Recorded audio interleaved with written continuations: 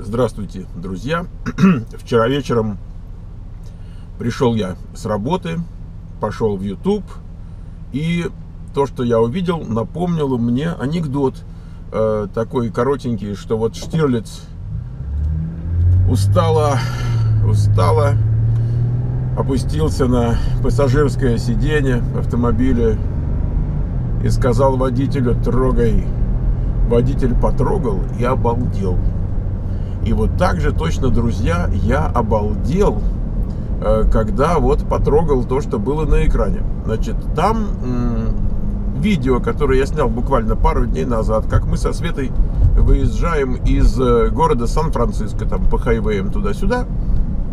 То есть там ни, никакого зрительного ряда, кроме того, что с дороги видно, не было. ну и там какой-то разговор, может. Терапевтический.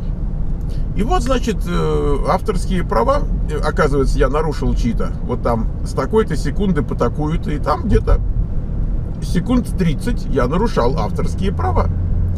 Я думаю, вот жуть. Значит, э, ну, знаете, первая мысль-то, думаешь, может, там в соседней машине где-нибудь музыка играла, окно открытое было. Ну, я не знаю, ну что такое может быть. Вот э, когда мы в институте связи учились, там военная кафедра была, там все были военно обязанные, даже девочки. То есть э, девчонки заканчивали там институт, будучи лейтенантами советской армии в запасе. И я вот помню там полковник нам рассказывал, а там в то время офицеры, многие э, фронтовик, фронтовики бывшие были, то есть такое время было, было много фронтовиков. И вот он говорит, что вот кто главный враг связиста во время войны? Все говорят, ну кто? Он говорит, танки. Говорит, причем не немецкие, а наши. Вот так где-нибудь там на ночлег устроился, а они идут. Бах, и нет связиста. Понимаете? Так вот, э, кто главный враг блогера на ютубе? Это какой-нибудь посторонний звук, который ты вообще, не, не то, что он тебе не нужен, он тебе еще и мешает. Не то, что ты специально пристроился какую-то музыку к себе вставлять, я тебя умоляю. Вот я снимал какое-то автомобильное шоу, а там репродуктор, и, значит, гремит какая-то музыка. И мне там значит, сразу пачка клеймов, что я, типа, использую чужую, чужую копирайтную музыку. Это может быть, например, вот я помню, снимал девушку, она танцевала на набережной Санта-Крус и рядом с ней стоял мужичок, держал, э, ну что это было, я даже не знаю, кассетничек какой-то, э, чуть ли не с селфона, ну что-то такая музычка играла. Вот, и я снимал, как девушка танцует, а мне бах, значит, клейм, чужую музыку использовал. Ну, в общем, вот такого плана, то есть достали, правда. Вот уже когда идешь куда-то, в магазин бывает, заходишь, просто в магазин, и вот снял бы чего-то, а там музыка играет, думаешь, ну всех нафиг. Да, ну, к чему рассказываю? К тому, что достали. Вот. Э, и тут я смотрю, что они, собственно, от меня хотят на, на хайвее-то. Что? Еду я по хайвею, даже не по городской улице, вообще по хайвею. Еду, никого не трогаю. А эта контора, которая мне, э, значит, клейм выставила, она как-то называется странно. Что-то такое, не поймешь чего. Латинскими буквами все это. Потом тире. И дальше латинскими же буквами но по-русски. Слово «знаки». Думаю, что за знаки? И э, какие-то я имиджи у них спер. Понимаете, оказывается, это не, не, не к звуку претензии, а к каким-то имиджам. Ну, я начинаю внимательнейшим образом рассматривать, что, собственно, там за видеоряд в эти там 30 секунд. А в эти 30 секунд я проезжаю по хайвею. Мы уже выбрались из города, едем по хайвею, ну, на выходе из города, как бы, только-только вышли. И там, вот, вы видите впереди э, мостик такой, да, вот пересекающий, там машинки идут. Ну, это тоже такой маленький местный э, фривейчик. Так вот, э, а на том фривее, который в кадре, там еще вот такие зеленые э, знаки. Видите, вот там впереди тоже есть зеленые знаки, только они на земле стоят. А там эти зеленые знаки с фривея, с мостика точнее, с мостика вниз, э, свешивались. Ну, там было написано выход туда, выход сюда. Ну, обычные знаки, ну что мы... Вот сейчас поедем, мы сейчас выйдем вот на этот вот э, фривейчик там, посмотрим. Я просто чему рассказываю. Вот такие зеленые знаки. И в течение вот этих 30 секунд я проехал под тремя мосточками. Вот такими. И, соответственно, в кадре у меня были три э, раза какие-то знаки. Причем там они даже не по одному знаку висели, а как-то даже по нескольку сразу там, по горизонтали, так они были размещены.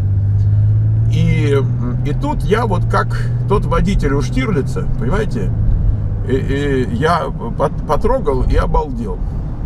Я думаю, это что ж теперь получается? Это значит уже на фривеях снимать нельзя. Понимаете, вот ты едешь по фривею, вот мы едем с вами и разговариваем.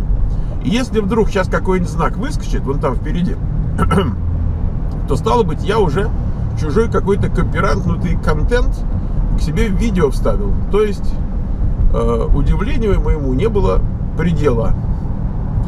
Да, то есть они довольно четко поймали, что там какие-то у меня знаки, но, ну, в общем, удивительно. Э, да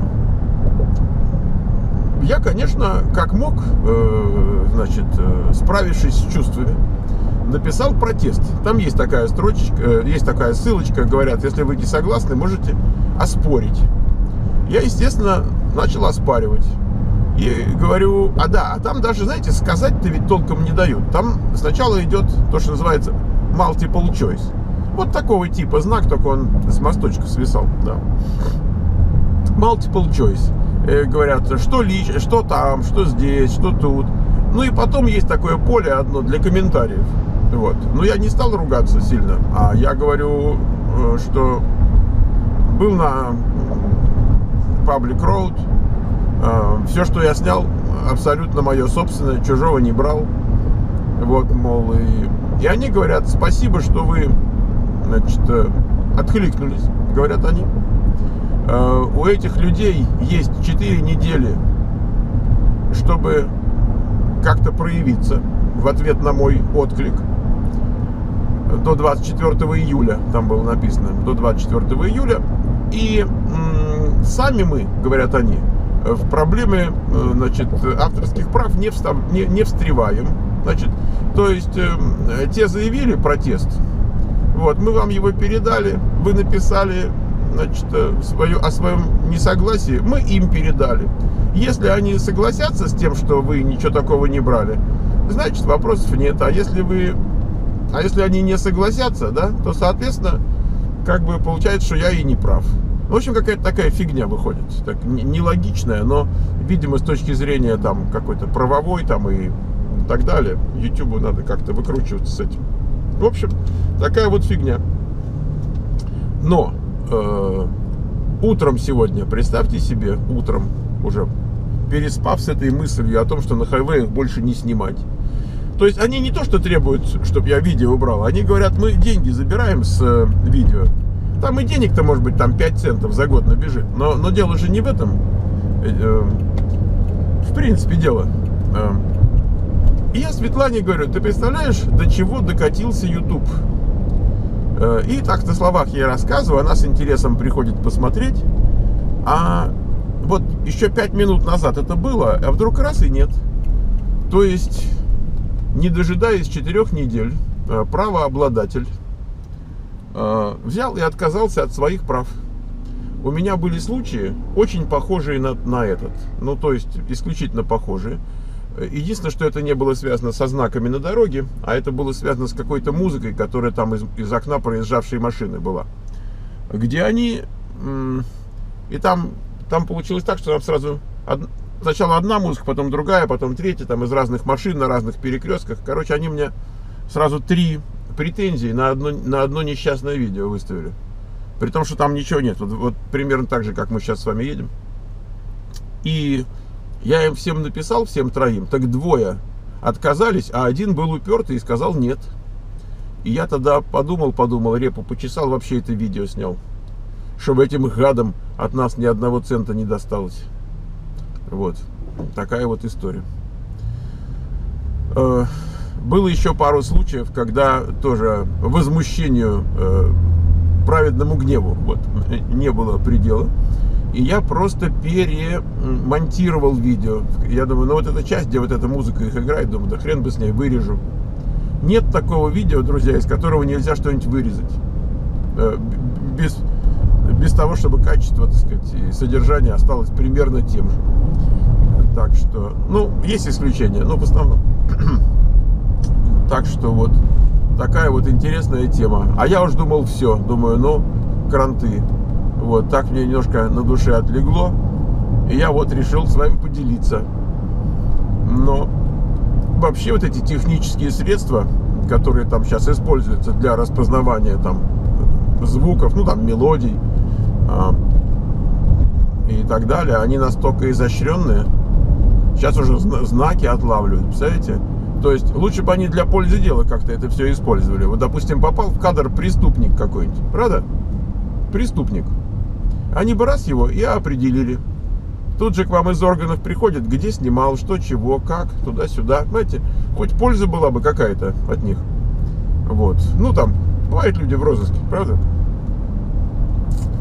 Так вот, они вместо... Хотя, может, они тоже уже и используют. Знаете, они, может быть, так нам не скажут, а сами используют. Боже. Вот так, друзья, вы идете где-то с вашим лицом. Так, имейте в виду, что если вы в розыске и попадетесь к какому-нибудь блогеру, то все, вас могут там отловить. Если захотят, конечно. А, единственное, что мое понимание такое, что задним числом они не обязательно ищут. Хотя знаете, что ищут? Иногда бывают, приходят претензии э, на видео, которое было снято, бог знает когда там, и год назад, и два года назад, и три года назад. И вдруг они сейчас бах и говорят, вот у вас там что-то такое. То есть они могут не только новые подгружаемые видео, ну, проскочим, новые подгружаемые видео, но они и старые тоже могут задним числом там пошуровать. Такая вот история. Все, друзья, мы с вами прощаемся. Ну, на время, э, непродолжительное. Вот. И до новых встреч.